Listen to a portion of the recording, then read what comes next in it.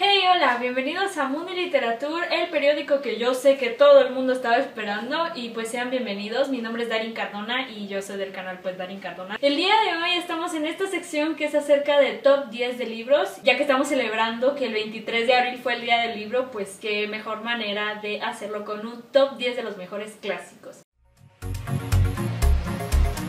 Pues bien, para empezar, les voy a advertir que este top 10 está bastante filtrado. Todos y cada uno de estos libros yo los leí y también están en orden del que más me gustó al que menos me gustó.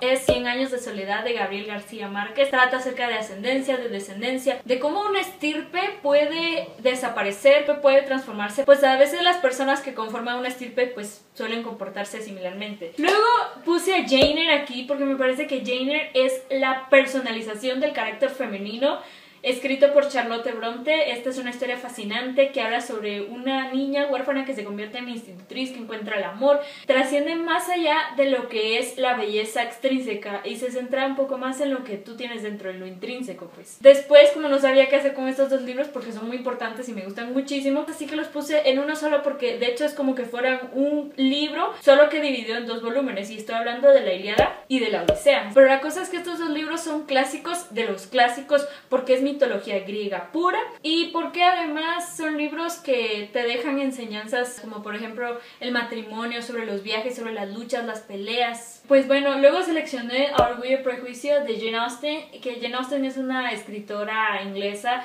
que también me parece que es la representación de las mujeres en la literatura. Es una historia de amor básicamente sobre Darcy, sobre Elizabeth. Es una historia digna de contarse. Después tenemos El Principito de Andrés no, de Antoine Saint-Exupéry. El Principito es una de esas historias que cuando tú la lees te marcan y te forjan como una mejor persona, simple y sencillamente. El principito sobre este chico, ¿verdad? Que pues viene de otro planeta y bla bla bla, nos cuenta muchas enseñanzas, más sobre la vida diaria y práctica. Después tenemos a Fahrenheit 451, que esta fue una historia que me leí hace bastante tiempo, pero es sobre este bombero, ¿verdad? Y en este futuro es una distopía, pero es una distopía con enseñanza, que debes hacer mejor las cosas siempre, que debes marcar la diferencia y hacer un montón de cosas así como que si tú lees vamos a ir a quemar tus libros y eso es a lo que se dedican los bomberos del futuro, a quemar libros. Después tenemos a El guardián entre el centeno de J. de Salinger, que si ustedes no sabían, como curiosidad,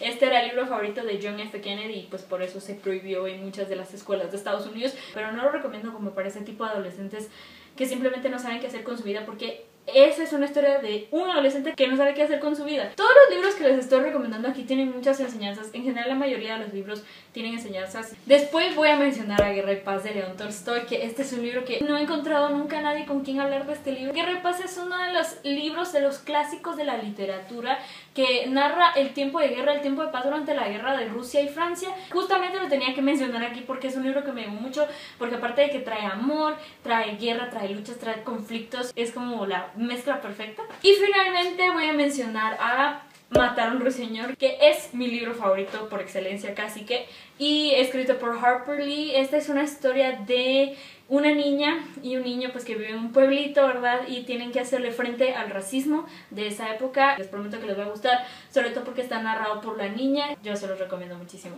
Y aquí mi top 10 de los clásicos, espero que les haya gustado y los invito para que se queden mañana a ver el siguiente video de Mundi Literature que yo sé que no se lo pueden perder.